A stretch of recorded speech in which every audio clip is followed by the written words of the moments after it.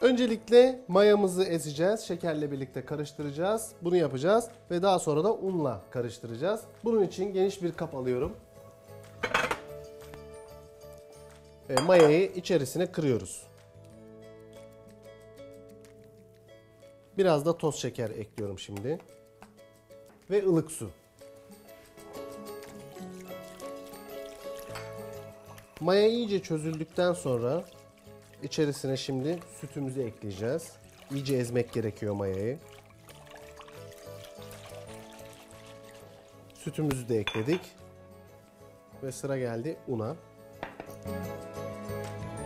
Mayalı harcımızı iyice karıştırdıktan sonra şimdi biraz bekleteceğiz. Yaklaşık bir yarım saat kadar mutfak tezgahında oda sıcaklığında. Daha sonra mikserimizde unla karıştıracağız. Son olarak yağ ekleyeceğiz içerisine. Şimdi un ve mayalı karışımımızı yanımıza alıyoruz.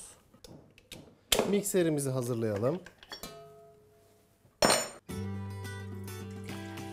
Mayalı karışımı karıştırma kabımızın içerisine koyduktan sonra şimdi unumuzu ekliyoruz içerisine. Şimdi bir yandan da tereyağımızı yumuşatmamız lazım. Bunun için tavamızı alıyoruz ve ocağa koyuyoruz. Biraz da içerisine tereyağı koyacağım. Tereyağını içerisine yavaş yavaş yedireceğiz hamura. Bunun için biraz yumuşatmamız lazım. Ocakta yumuşatırken tereyağımızı biz de hamuru yoğurmaya başlayabiliriz. Evet.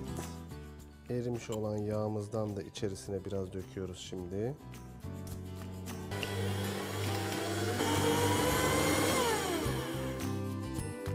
Hamur istediğimiz kıvama geldiğinde artık çıkartabiliriz. Yoğurmuş olduğumuz hamuru şimdi ayrı bir kabın içerisine alacağız. Biraz da un alalım. Kabın içerisine de biraz un serpiyorum.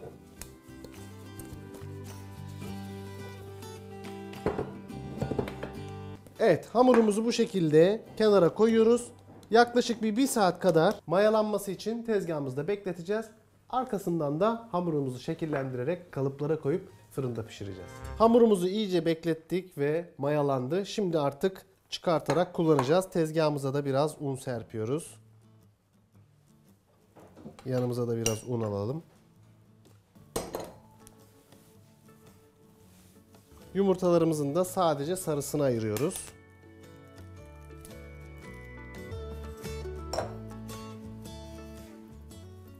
Az miktarda zeytinyağı gezdiriyorum kalıplara. Yumurtamızı da hazır hale getirdik. Üzerlerine de yumurtamızdan süreceğiz. Şimdi artık hamurumuzu da porsiyonlayarak kalıpların içerisine koyabiliriz. Hamurumuzu bu şekilde yuvarladıktan sonra bastırıyoruz ve kalıbın içerisine koyuyoruz. Bu biraz küçük oldu. Biraz daha büyüteceğim şimdi.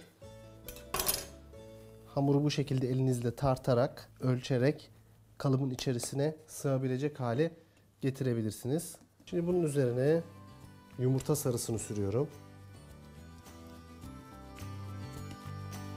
Evet, şimdi üzerlerine küçük şapkalar yapalım. Bu da çok güzel yakışıyor brioche'un üzerine.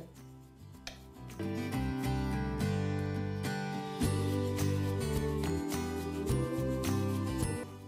bunların üzerine de biraz yumurta sarısı.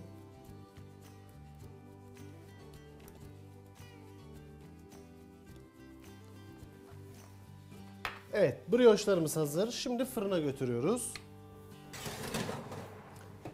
240 dereceye kadar çıkartıyoruz. 230-240 derece arasında 20 dakika pişirdikten sonra brioşlarımızı çıkartacağız. Brioşlarımız pişti. Harika görünüyorlar. Şimdi onları çıkartacağız ve servis tabaklarımızı alacağız.